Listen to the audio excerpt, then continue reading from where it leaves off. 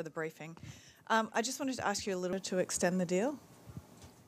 As for China, I'll tell you right now that we aren't discussing this topic with our partners from the People's Republic of China, including probably for purely pragmatic reasons based on the fact that we have a common border with China through which imports and exports have been established. And the Black Sea area is completely unnecessary for China to buy our grain from. As for the letter that yesterday the UN Secretary General handed to the President Putin about the grain deal, I hope that it has not been leaked because of his personal correspondence between the head of the UN and the head of a UN member state. If it were to be made public, this note, this would not have been a very decent thing to have happened.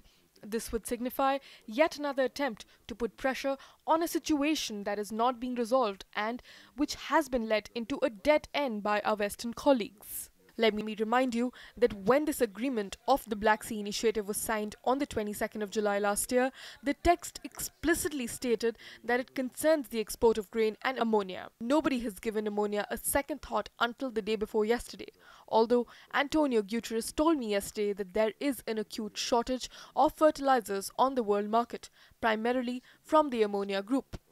And if you've seen the statistics, less than 3% of the total volume of grain that passed from the Ukraine ports, less than 3% ended up in really poor countries that are on the corresponding list of the World Food Programme. That's Ethiopia's, Yemen's, Afghanistan, Sudan, and by the way, Somalia. The rest is more than 80% to high or upper middle class countries. We also pointed out that, focusing entirely on the Ukrainian part of the deal, our colleagues, mainly from the UN, forget that Antonio Guterres originally proposed a whole package that is linked together. I cannot say that the UN is not making an effort. No, on the contrary, Antonio Guterres, the Secretary General of UNCTAD and Deputy Secretary General for Humanitarian Affairs, all are calling for that and are trying to negotiate with countries that have announced illegal unilateral sanctions against the Russian Federation, but there is practically no result. Rosselkhozbank, the main bank that serves our agricultural exports, is disconnected from SWIFT and no one is putting it back there. In return, we are offered some one-off alternatives.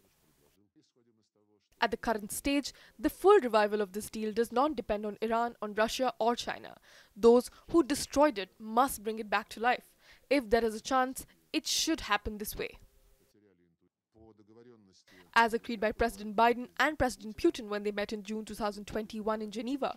A special channel has been created to discuss issues of detained Russian citizens in the United States and detained American citizens in the Russian Federation. I will not reveal a big secret if I tell you that this channel was not intended to involve journalists and did not intend to publicly expose certain situations in the interest of putting pressure on ongoing serious professional negotiations. In Russia, several American citizens are serving sentences for various crimes, including the people you mentioned. I mean, Paul Whelan and Ivan Gershkovich. They were detained while committing a crime, obtaining materials that constitute state secrets, and we do not accept loud, pathetic statements that a journalist by definition cannot commit a crime. No one remembers Julian Assange anymore. No one remembers our citizen journalist Maria Butina, who spent two years in prison in USA just because she was engaged in journalism and participated in the work of non-governmental organizations. We have about 60 people being imprisoned here in most cases. The accusations are dubious. There is a channel for discussing these things, and such work does not imply publicity. Publicity in this case can only complicate the process for obvious reasons. There is no need to explain this to professionals. Concerning Wagner, this is a private military company. We have repeatedly touched upon this issue, including in this room. A few years ago, our French colleagues and the head of diplomacy in the European Union, Joseph Borrell, issued grievances towards our links to Mali, Central African Republic and they created some kind of a mini scandal in respect to the fact that the government of Mali under circumstances when the French began to withdraw their operations from the country and began to close their military bases in the north where there were the main terrorist threat remained and in this situation, the government of Mali, in order to not be left without defenses, they turned to the service of the private company called Wagner Group. Central African Republic and Mali and Sudan, a number of other countries whose governments, whose legitimate authorities turn for this kind of service, have the right to do so.